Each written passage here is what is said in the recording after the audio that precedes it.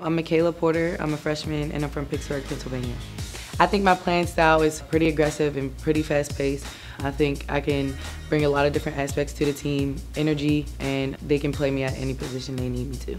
What I love about basketball is the energy of the game, meeting new people, and building relationships that will last forever. My favorite memory of basketball is last year when my AAU team won the national championship in Atlanta, Georgia. It means a lot for me to play for Cincinnati because my dad played Division One basketball, my brother played Division One basketball, and for me to follow in their footsteps um, means a lot.